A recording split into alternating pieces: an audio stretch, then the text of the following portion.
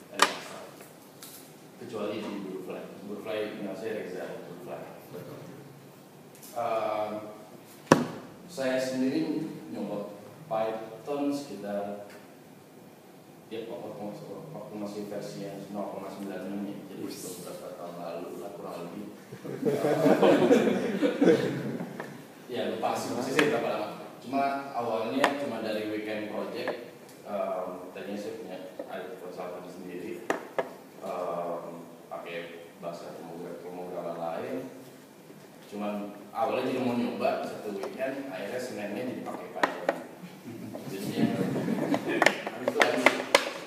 Awalnya dari situ.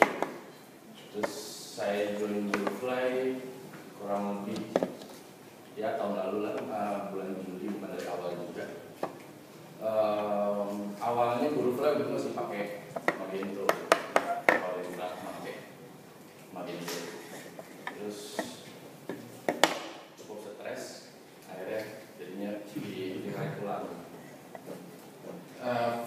terus rilis packaging dulunya itu jadi sekitar bulan November. Itu baru kita mulai ada uh, user gitu. Jadi tadi yang statistik dikasih lihat sama Grace sebelumnya eh, uh, 680 ribu something user itu sejak November. Itu.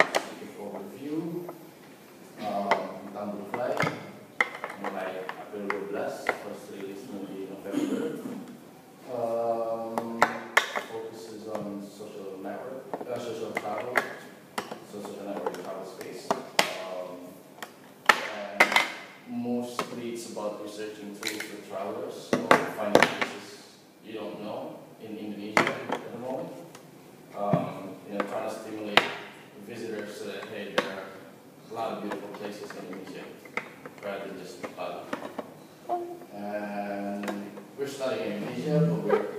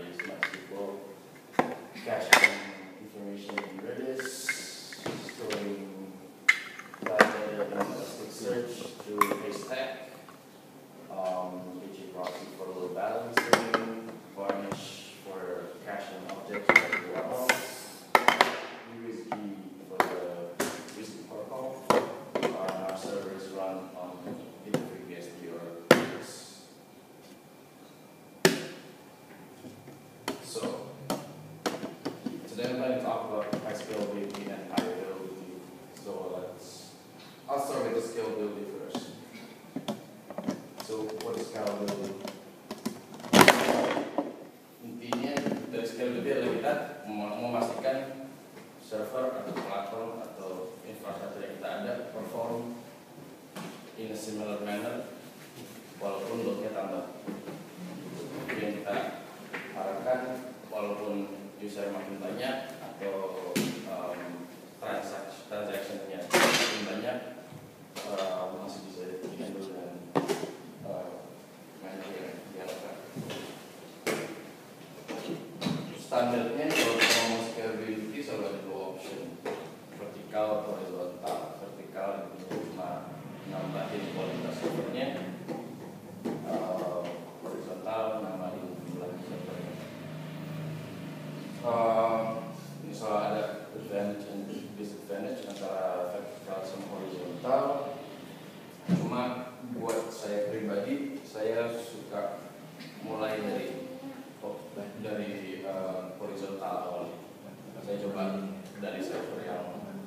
kualitasnya rendah tapi jumlahnya banyak.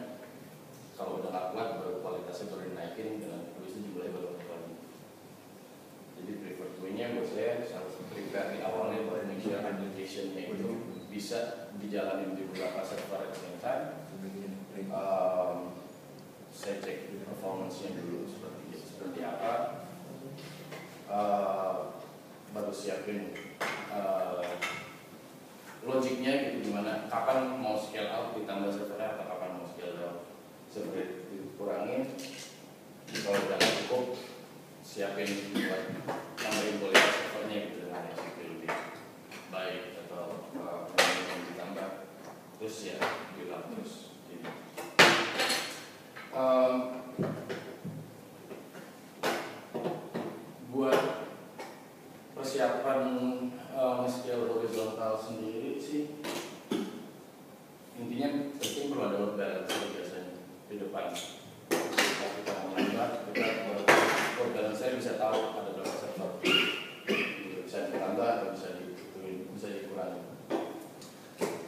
terus yang common dilakuin itu status baseline servernya jadinya sebisa mungkin nggak simpan data di application server jadinya uh, application cuma buat handle request aja jadi server itu bisa dipakai dimasukin kapan aja buat penyimpanan data lebih baik di server lain Boleh langsung tanya nggak ya? oh ya, ya Load balancernya hardware apa software yang dipakai di sini? kita sekarang software tadinya hardware jadi uh, nggak gitu. jadi dulu kita pakai uh, AWS jadi tadi pakai ELB cuma sekarang pakai EC proxy gitu sekarang pakai software kalau sekarang nggak pakai AWS infrastruktur kita adanya di software Apa servernya ini sendiri virtual server atau emang benar-benar sekarang sih kita dedicated server dedicated server? tadinya cuma cloud Kenapa? Kenapa pindah ke hardware? Pertimbangannya apa? Um, Nggak stabil ya kalau di virtual server ya? Enggak juga sih, cuma Amazon pertama mahal. Kalau mau Mahal? Pertama mahal. Oh. Kalau mau murah, invest di awalnya lebih mahal. Soalnya ada. Soalnya saya ngerasa pas saya pakai Amazon saya lebih jadi kayak accountant gitu daripada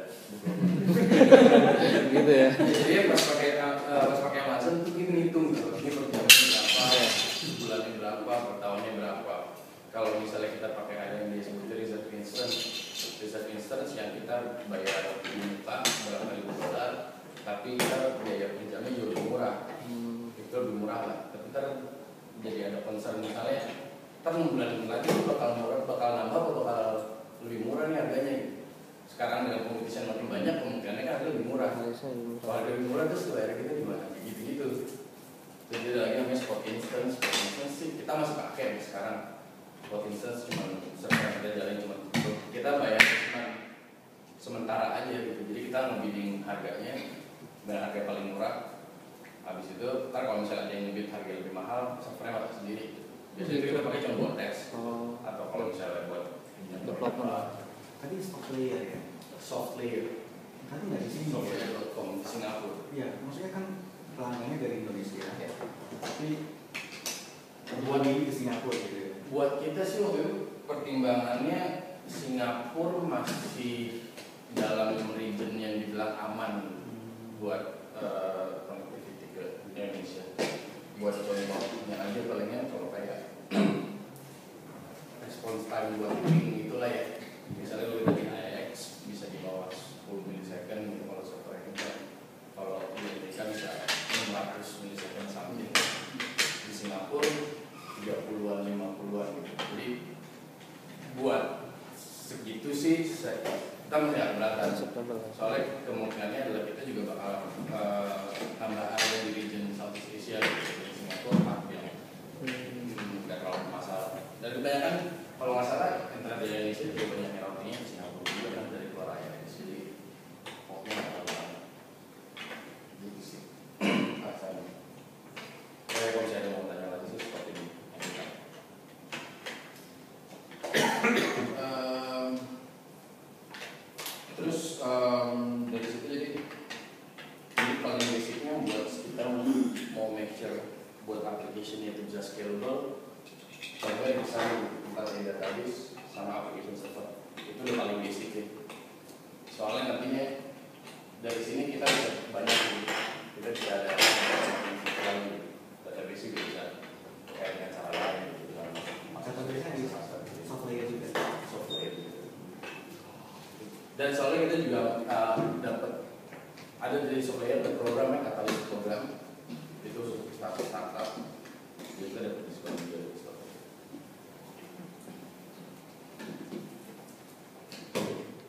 Nah, cuma di kadang yang suka orang suka kebingung bukan kebingung suka dua topik yang agak nggak related langsung tapi bisa membantu scalability itu performance. Banyak banyak orang yang scalable scalability itu performance tapi nggak itu juga. Tapi di sini saya measure performance karena secara matematikanya jadi bisa ngitung kalau loadnya sekian kapan saya mesti nambah server baru. Jadi dengan measuring performance saya bisa tahu kira-kira ah nggak usah nggak usah di-upgrade servernya gitu nggak usah ditambahin servernya? Cuman itu keperluannya sih kenapa kenapa saya measure performance. Ini saya ngambil dari ironisnya dari ASP.NET website kalau nggak salah. Eh, saya dulu nemu ini walaupun ini di uh, argue not entirely true tapi it helps in some ways buat ngecek uh, buat ngecek performance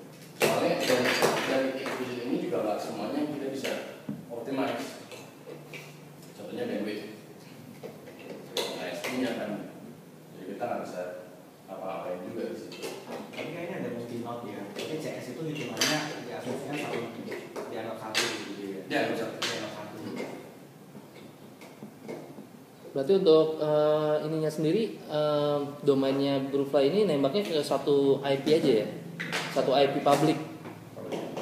Ini berarti scalability-nya di eh, server aplikasinya. Kalau kenapa IP-nya satu ada bagian buat high availability-nya sih high availability ya. Ini eh, kan Jeng, Django base ya, Brufly. Ini di belakangnya Apache atau UAB apa untuk uh, web, Oh web servernya USD ya. Itu kayak gini. kenapa? Pakai Nginx. Uh, tadinya gitu, tapi punya kita punya Varnish uh, Varnish dulu jualannya Varnish mendesain habis itu dia bakal kontak USB atau ke Nginx Oh, itu pakai proxy doang ya, habisnya. Varnish nyimpen konten sih. Um, dia nyimpen by URL dan bisa di hashing tergantung apa yang kita perlu. Jadi powerfulnya Varnish itu nanti pas kita punya Django app-nya, misalnya data kita kebanyakan bedanya based on cookies untuk per halaman. Kita bisa nyimpen URL-nya itu ditambah uniqueness of cookie-nya. Jadi walaupun halamannya homepage, tapi kalau cookie-nya beda, dia nge-store itu sebagai cache-nya beda. Jadi usernya sama, akses nggak masalah. Cuma kalau caching cuma by cookie aja, buat saya sih nggak ada pakai varnish gitu. Soalnya by default Django juga udah ada caching kayak gitu. Jadi em, kalau karena kita banyak communication di website itu lewat API, dan bisa punya token masing-masing, kita sebenarnya per token. Dia per URL per token. Pakai less gitu. Sorry, API-nya pakai apa? Eh, kita pakai juga Tim- REST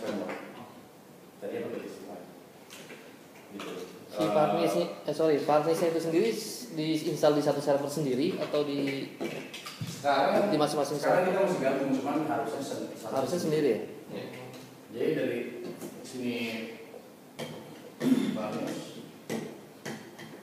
Ini misalnya internetnya punya uh, proxy-nya dia ke Varnish dia dispatch ya X atau ke langsung ke USB dari sini Varnish kayak katanya tadi bilang misalnya dia mau simpen URL slash mainin gitu ya tapi dengan URL ini misalnya ada dua orang akses yang berbeda contohnya aja misal uh, Varnish powerfulnya dia bisa misalnya kita mau nge-hash by IP misalnya IP-nya segini 34 misalnya ini 5678 yang bag- yang kerennya jadi di database Varnish dia punya dua entry buat slash mining. Dia punya dia punya konten yang dia simpan untuk si IP ini dan dia punya si- eh, dia punya konten ini yang disimpan untuk 58 Hmm. dan ini nggak bisa nggak nggak limitasi dalam IP gitu. Eh, kayak kita kita pakai token. Jadi Iya. yang kita hash tokennya dia bisa nge-hash dari um, cookie dari host user dari HTTP header jadi sebenarnya cukup useful yang jelas setelah kita pakai Varnish ada salah satu halaman apa URL API kita yang kita tes tadinya bisa tadinya cuma bisa merespon sekitar 50 request per second jadi 40 second 40 request per second. Soalnya dia nggak perlu akses lagi ke USB-nya yang USB ngecek JU-nya dengan ngecek semua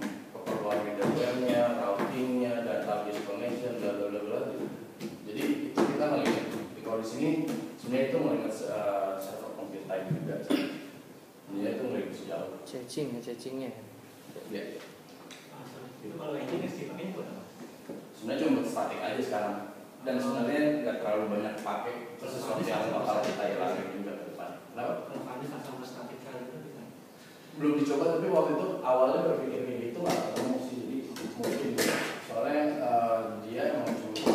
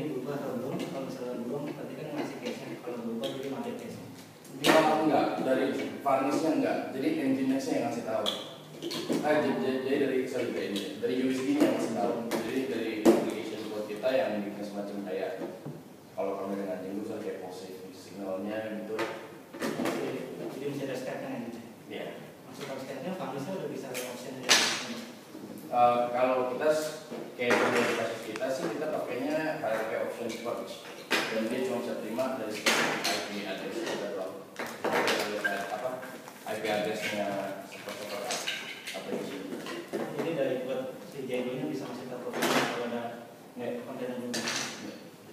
Jadi, Engine X enggak ini perlu catching karena Engine X nggak cukup kuat ya untuk proxy ya. Enggak sih, soal bukan karena bukan karena itu juga soalnya pertama sih kita engine X awalnya cuma dipakai sebagai proxy buat ke USD. Jadi dulu itu eh, arsitektur kita dari dari engine X ke Berarti intinya kalau orang mau akses URL ini dia jalannya ke sini, ke sini, ke sini, baru diproses diproses Django-nya. Oh bukan maksudnya kalau tanpa Varnish itu nggak nggak- cukup kuat ya. kita nggak pernah pakai buat caching di engine X jadi nggak bisa saya nggak bisa uh, pasti juga Static komponennya Iya. banyak ya. kalau static content template JavaScript sih Gambar gitu. gambar kita pakai CDN CDN kita CDN. storage Oh. disimpan storage sudah disimpan di AWS aja so udah banyak kita nggak mau pindahin juga Pakai CDN juga ya. Iya, oke. Cuma ini beberapa aja waktu itu soalnya kita punya masalah sama template JavaScript, jadi kita masukin balik engine-nya gitu. Cuma sebenarnya engine-nya sih udah gak banyak dipakai itu sesuatu yang kayak homework kita yang feature tuh engine-nya sih bakal hilang besar. Gitu. Nah, jadi jadi area of improvement-nya itu juga nggak semuanya se- dengan equation ini nggak semuanya bisa diimprove gitu. Paling yang bisa diimprove case size-nya uh, seberapa banyak uh, bolak-baliknya, cepat uh, server komputernya sama client komputernya. Gitu. Gimana cara improve yang lain? Uh, improve Oh belum ya nanti. Belum, ya. Kalau untuk saya sendiri, standarnya paling uh, testing, visit, atau kalau mau go extra mile, semakin jauh HTML min, intinya cuma semuanya di dikecil di kompres aja gitu. jadi semakin baris. Tapi kayak jenggo HTML min sendiri sebenarnya nggak banyak, kita ngomongin cuma kayak beberapa byte aja berubah gitu. Dan kalau ngomongin kayak kebanyakan size seperti 4 kilobyte, sebenarnya meaningless. Tapi buat orang yang emang every every byte counts, mungkin tetap mau pakai. Tapi ningkatin dong server komputer. Iya, soal itu. Jadi jadi gimana Cek? Jadi itu gimana kita mau improve uh, performance-nya tetap ada bagian decision making-nya sih. Uh, ada sebagian yang kita lakuin bakal uh, ngejelekin yang lain. Kayak contohnya kita dengan kita pakai AngularJS yang full uh, dari API communication-nya itu kita merendahkan page size-nya jauh banget. Tapi klien kita itu jadi cuman kita tetap ambil route itu soalnya klien kita ini kita bisa bagi-bagi. Jadi dia nggak harus semuanya di render dalam satu satu waktu bisa dikit-dikit aja. Terus uh, untuk patterns ini mungkin juga yang pakai Django pasti pakai Django compressor intinya buat JavaScript dan CSS yang tergantung ya kalau misalnya pakai Django static files gitu kan tuh enak tuh. Kita bisa punya JavaScript-nya banyak file dipisahin dikit-dikit per application. CSS-nya juga gitu. Kan terakhirnya uh, di-combine dalam satu folder cuman file masih banyak gitu. Dengan pakai di, di minify sama JavaScript itu bakal at least bakal reduce jumlah file bisa banyak sih TCP kan by design juga slow gitu ya jadinya dengan kita perlu request sekali atau dua kali itu bakal lebih baik daripada kita mesti request 50 resources kayak contohnya kita tuh awalnya JavaScript templates kita ya bisa ada 50 20 sampai 30 file gitu. Kalau user mesti request 30 file sih nggak masuk akal juga gitu jadi dengan ada sepatu banyak kompresor ya dia di, di combine semuanya jadi satu file sedikit lebih besar tapi static files lebih gampang untuk di caching dan yang saya nggak sebutin sih dari ini caching hampir bisa dipakai di every step of the way gitu. Um, dari reducing yang sebelumnya itu reducing payload sampai dari sini komputer client time caching sih tetap bisa dipakai. Terus um, option lainnya pakai CDN eksternal uh, buat CSS sama JavaScript. Optionalnya adalah multiple. Soalnya ini salah satu yang kita sekarang punya masalah jadi buat website kita biasanya image-nya banyak sedangkan server bahasa konferensi request-nya juga tetap purpose-nya cuma sekitar 6 sampai 8 kalau nggak salah ya saya lupa apa pastinya cuman yang jelas dengan ada multiple CDN dengan domain yang beda-beda kita jadi bisa request lebih banyak file eh, dalam waktu yang bersamaan gitu. Jadi, jadi misalnya per host cuma dibolehin download 8 file kalau kita ada dua domain berarti bisa 16 file gitu. Dan JavaScript-nya bikinan sendiri atau pakai project yang lain? kita pakai AngularJS frameworknya eh, Mereka nggak sekian CDN atau nggak boleh kita pakai terlalu banyak? itu em, saya pokoknya pernah baca artikel sih ada yang pernah eh, nge-point out malah dibilangnya lebih dari empat benefitnya nggak signifikan gitu. Malah dia bilangnya multiple nggak apa-apa tapi juga nggak nggak perlu terlalu agresif kayak selalu beranggapan lebih banyak lebih baik gitu. Malah eh, yang pernah di riset itu adalah setelah uh, empat itu angka yang mereka bisa maximize setelah dari empat uh, server atau empat empat CDN mereka nggak lihat benefit. Tapi ini sebenarnya dia sendiri yang di hosting sendiri ya. nggak sih sebenarnya kita pakai cara pelit kita pakai Cloudflare. Oh. kita pakai Cloudflare kan. Um, itu lumayan bikin kita sebel juga sih. Cloudflare ternyata dia free CDN intinya. Tapi limitationnya 10 concurrent request cuma 10 makanya multiple CDN bakal jadi nggak enterprise. jadi kemungkinan uh, jadi yang bakal kita ke depannya sih CDN-nya uh, kita pakai satu pakai Cloudflare tapi nanti kita tambahin yang lain gitu Oh, jadi ini sebetulnya ini API first design. Jadi yang orang kalau semuanya pertama terus kombinasinya yang pakai API itu. kalau personally yang bakal saya lakuin saya bakal pakai semacamnya popul ya. Jadi intinya eh, semacam kayak Cloudflare juga cara kerjanya dia bakal akses server Cloudflare kalau Cloudflare nemu dia bakal ngambil dari originnya gitu. Buat saya itu bakal save development time sih. Jadi hmm, mau nambah berapapun eh, CDN-nya dia cuma bakal akses origin aja. Kalau nggak ada ya dia baru ngambil dari originnya asli jadi kita nggak perlu pakai proses uploading file ke CDN-nya kayak gitu gitu. Gitu. Ehm, dan eh, kita juga rencananya soalnya ke depan juga mau nambah CDN-nya juga dari supplier dan supplier mereka punya points of Eh, software sendiri untuk CDN sebenarnya cuma reseller gitu reseller dari HCAS HCAS nya sih punya points of presence di Indonesia gitu. jadi mungkin setelah ada itu bakal downloadnya harusnya lebih bakal lebih cepat Kalau lupa belum ada CD. yang saya tahu baru HCAS sama sama Akama ya Oh yang dari sini. yang ada di Indonesia ya Cuma cuma di Amazon. kenapa Yang Cloudflare itu pakai AWS. Cloudflare enggak sih kayaknya bukan Cloudflare yang Amazon kalau Cloudflare udah ada dia sih nggak pakai AWS setahu saya nggak pakai AWS Gitu. Eh, iya itu juga Cloud Killer udah ada belum sih dia ini Eh, kita ada storage eh, semacam jadi SD compatible Oke. ya semacam AWS S3 cuma storage storage distributionnya kalau buat distribution multiple di sini kayaknya belum ada. Tapi di di Finis Cloud kita ada. Itu pakai eh, CDN-nya on app apa sih? On app. Oh. Points of presence-nya oh on app ada di Indonesia berapa ya?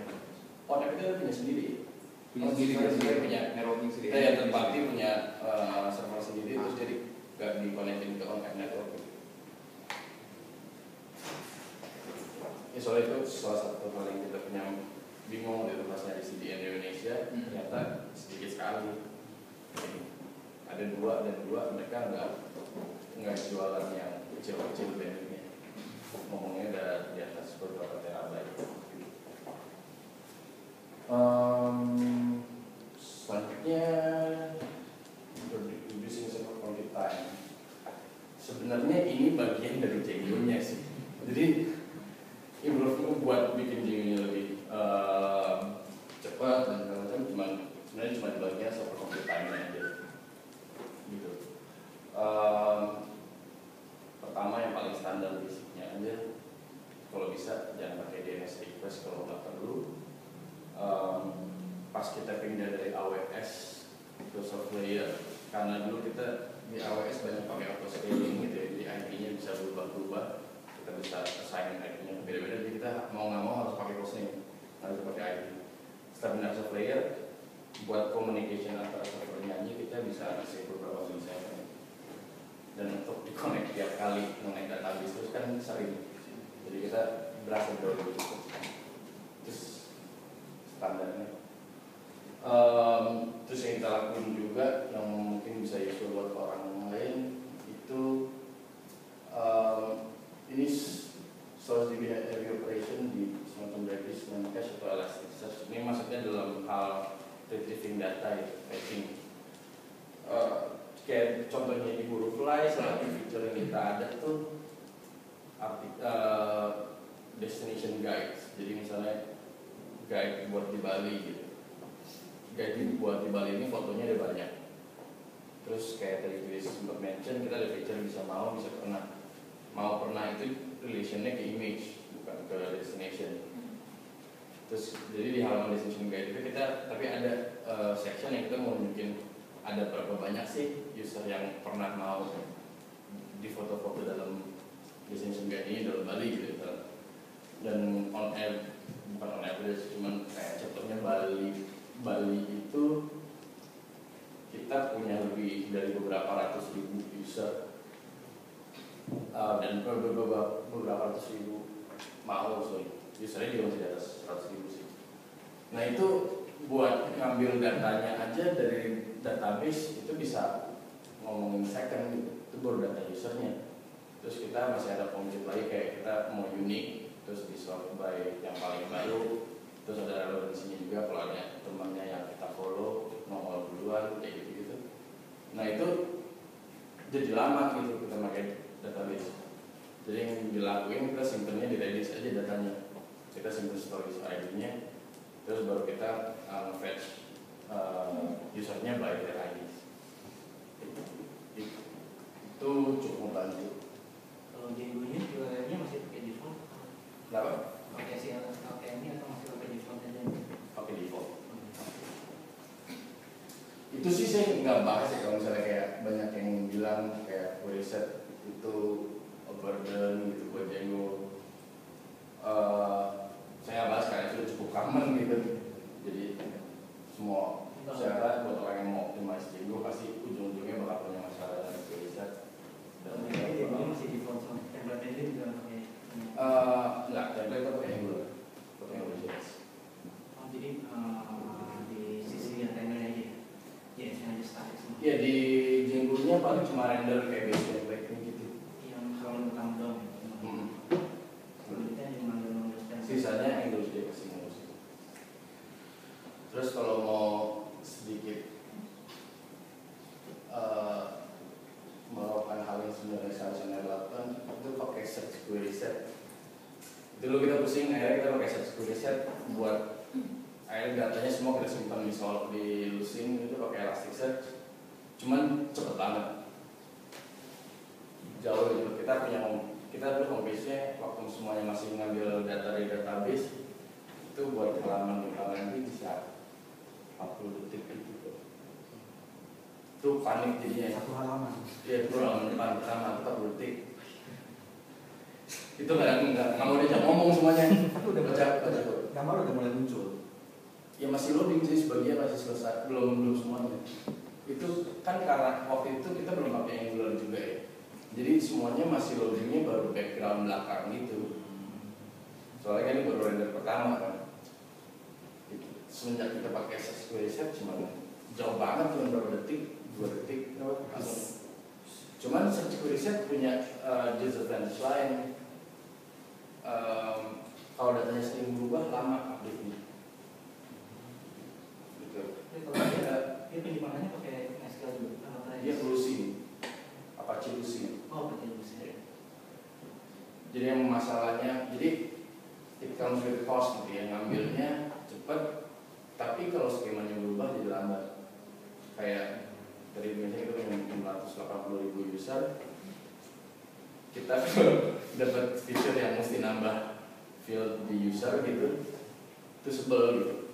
Soalnya nambah satu field nge-update index di hashtag lewat apa ada di sesi Elasticsearch lewat hashtag itu bisa beberapa hari. Sebelumnya dihapus semua sama dia. Enggak juga sih harusnya. Cuma lama banget ya segitu. Mungkin juga bagian dari masalahnya karena hashtag kontak ke Elasticsearch lewat HTTP mungkin lewat API mungkin.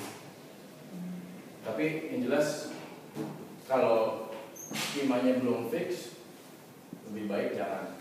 Tapi kalau skemanya udah fix untuk info apa aja yang mau bisa diambil pakai search preset enak banget jauh jauh banget sebenarnya dari. Um, terus yang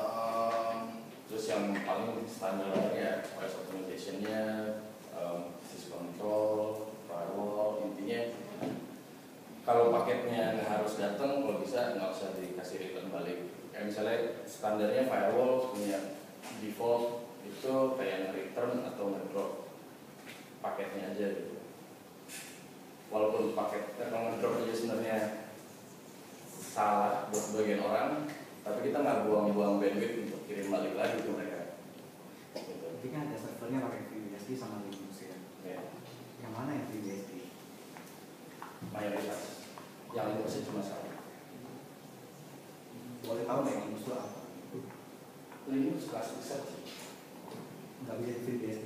Bisa sih bisa cuma um, assumption kita waktu itu pokoknya kita was led to believe kalau Java Linux lebih lebih galau cuma karena itu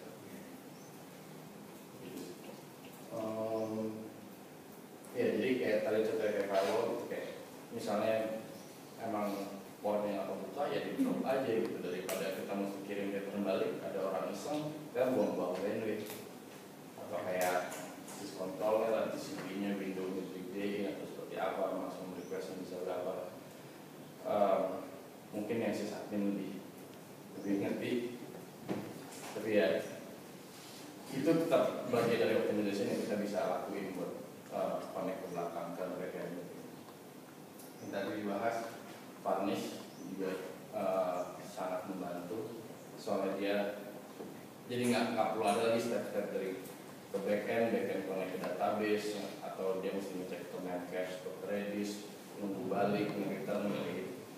Jadi dia Var- Varnish menyimpan dynamic data as if it was static. Kerennya di situ. Terus reduce client compute time. Nomor satu itu agak-agak impossible. Cuman emang itu masalahnya klien, masalah di klien uh, time. Semakin banyak domnya, semakin banyak elemennya, pasti makin semakin lama. Tapi the listing you can do ya jangan nggak perlu bikin div yang isinya kosong cuma nambah style doang gitu. Nggak perlu ya kayak elemen-elemen yang sebenarnya nggak penting nggak usah ditambahin. Gitu. Um, Ajax istilahnya. Jadi instead of semuanya di load dari awal kita panggil kapan diperluinnya aja gitu. Contohnya kayak pakai itu alasannya kenapa kita pakai Angular.js juga.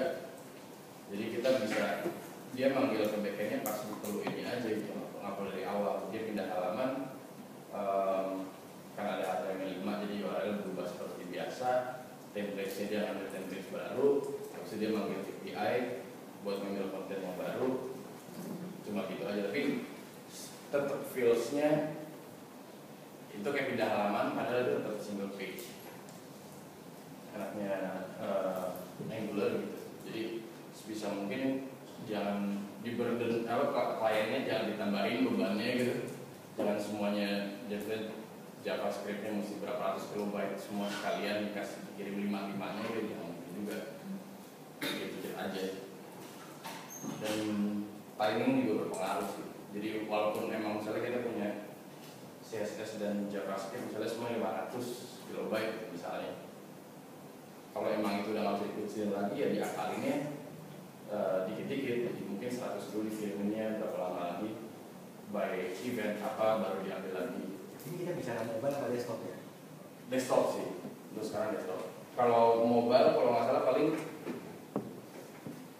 saya yang saya tahu cuma paling mobile safari gitu ya kalau mobile safari kan dia bisa nge-cache konten up to certain size Tapi kan mesti Jadi- set user ya. kenapa Usernya harus ubah ya, behavior itu. Jumlahnya mesti tambah user yang. Apa nih? Yang ngatur jumlah cache yang oleh si browser itu hmm? usernya ya. kalau nggak salah by default ada settingan Oh, tapi jadi besar gitu ya. nggak terlalu jadi paling itu trik lain untuk mobile jadi mungkin untuk mobile minifying jadi bukan option yang baik soalnya datanya nggak bisa di cache kemungkinan besar ya karena angkanya kemungkinan lebih besar daripada yang browsernya kasih gitu. itu bisa berbeda lagi terus paling ini belum kita lakukan tapi ini bakal kita lakukan local storage. Jadi kalau buat ini bisa jadi useful kalau misalnya buat orang yang sering visit page-nya tadi. Drawback-nya adalah kalau orang nggak sering visitnya buat apa nyimpan di browsernya soalnya mungkin dia baliknya dua bulan lagi datanya udah nggak ada relevan gitu paling gitu. terus eh, dari dari performance yang udah kita usahain gimana bisa mungkin jadi diminimize waktunya kita take um, to make a decision ya um, mau naruh infrastrukturnya kayak apa nih terus kapan buat nambahin servernya kapan buat server dimatiin ini sebagai contoh aja misalnya kita punya goalnya mau bikin ininya aja yang scalable jadi dari load balancer misalnya nggak ada ikonnya jadi pakai itu Eh, dari load balancer jadi contoh di sini coba bagian ini kita mau tambah dan kurangin gitu. ini saya ngasih contoh dari eh, dari Amazon dari AWS kalau saya rasa lebih banyak yang kemungkinan orang lebih pakai Amazon jadi saya rasa mungkin lebih berguna Em, standarnya steps buat scaling di Amazon itu kita bikin image servernya ini server yang tadi dibahas stateless gitu ya jadi server itu bisa dimatiin bisa nyalain datanya masih sama Em, paling suggestionnya pas servernya jalan ya diupdate dulu source code-nya paling gitu tapi sisanya nggak ada lagi uh, storage yang server itu sebenarnya. Gitu. Nah kalau kita udah punya image itu itu yang nanti bakal jadi dipakai buat setup buat scalingnya. Kalau kita bisa bilang kalau saya mau scaling saya mau scalingnya dengan uh, server yang speknya seperti apa tapi konten servernya OS-nya atau datanya dengan yang image ini. Dicek tiap berapa lama kapan kapan nambah kapan berkurang ini contohnya bikin one configuration bisa kelihatan ya? Dia bikin configurationnya itu kita bilang eh, yang lokasinya server di mana untuk AWS contohnya eh, dengan server apa eh, image eh, ID berapa. Soalnya di kalau di Amazon itu kita kita bikin image dapat ID numbernya. Gitu kita ID berapa terus servernya mau yang jenisnya apa yang kecil yang besar yang opsinya ada banyak.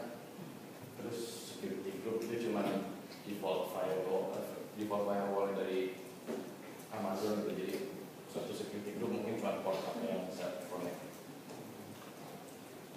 Dari itu kita udah bilang konfigurasinya seperti apa servernya. Habis itu kita mau bilangnya ini satu grup kita bikin grup yang bisa di scaling